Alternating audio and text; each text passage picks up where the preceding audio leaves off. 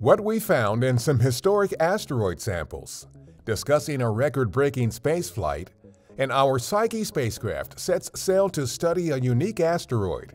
A few of the stories to tell you about this week at NASA.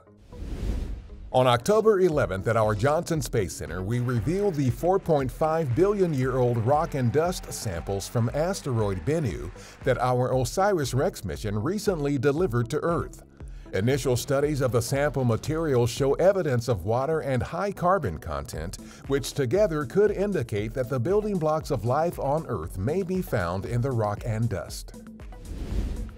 During an October 13th news conference at our Johnson Space Center, NASA astronaut Frank Rubio discussed his U.S. record-breaking 371-day spaceflight aboard the International Space Station.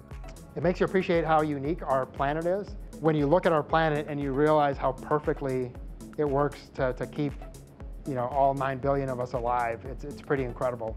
Extended space flights like Rubio's could provide valuable data about the effects of long-duration spaceflight on the human body as we get ready to send humans back to the moon on Artemis missions to prepare for human exploration of Mars.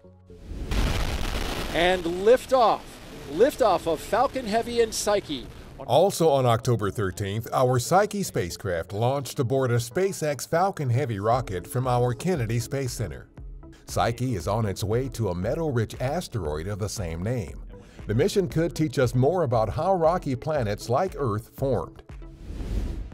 NASA will host live coverage of the October 14th annular solar eclipse starting at 11:30 a.m. Eastern Daylight Time on NASA television, the agency's website, and the NASA app.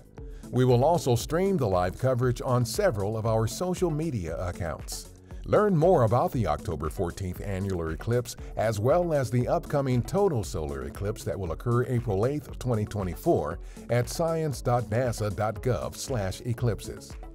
That's what's up this week at NASA. For more about what else we're up to, check out nasa.gov.